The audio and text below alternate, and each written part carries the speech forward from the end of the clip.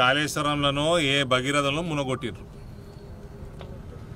ఇప్పుడు కేంద్రం నుంచి వచ్చిన పైసలు డిపాజిట్ చేసిన పైసలు కూడా తీసేసుకొని పోయినరు ఇట్లా రాష్ట్రంలో ఎన్ని వందల వేల కోట్ల డైవర్షన్ ఉన్నదో ఇవన్నీ ఊహించుకోవచ్చు మీరు.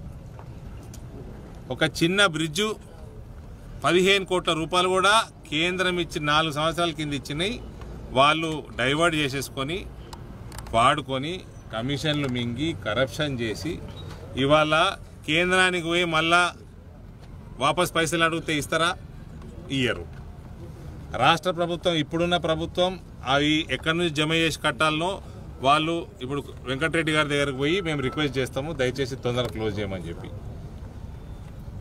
ఈ రకమైన నిజామాబాద్ ప్రాంత ప్రజలు కానీ తెలంగాణ ప్రజలు కానీ ఇటువంటి డైవర్షన్స్ కొన్ని వేల కోట్లలో లక్షల కోట్లలో ఉంటాయి తెలంగాణలో.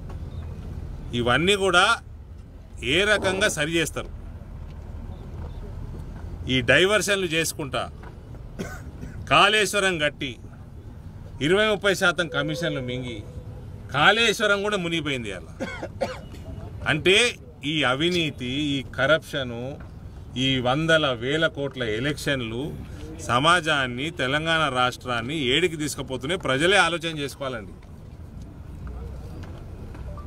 ఈ ఓటుకి రెండు వేల రూపాయలు ఓటుకి ఐదు వేల రూపాయలు ఈ ఆర్ఎండ్బి మంత్రి పదిహేను కోట్లు కూడా ఇచ్చిపెట్టలేదు ఆయన జిల్లాని ఆయన డెవలప్ చేసుకోలేదు. ఓటుకు మాత్రం ఐదు వేలు వంచేడు ఇది ప్రజల ఆలోచన చేసుకోవాలా? నేను అందుకనే చెప్తాను. గెలిస్తే గెలుస్తామా ఓడితే ఓడతాము. ఎక్కడో ఒక దగ్గర మొదలు కావాలి.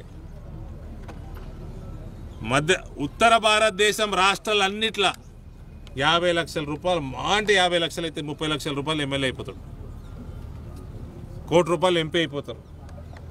ఇక్కడ ఎమ్మెల్యే అయితే యాభై కోట్లు డెబ్బై కోట్లు ఎనభై కోట్లు మళ్ళా వసూళ్ళు మళ్ళా ఈ కరప్షన్లు గుట్టలు గుట్టలు అమ్ముకున్నాడు మొరం దందాలు చేసుడు ఇసుక దందాలు చేసుడు. ఎవరన్నా బిల్డింగ్లు డాక్టర్లు బిల్డింగ్లు కట్టుకోవాలి హాస్పిటల్ కట్టుకోవాలంటే సవగొట్టుడు వాళ్ళని కమిషన్ల కోసం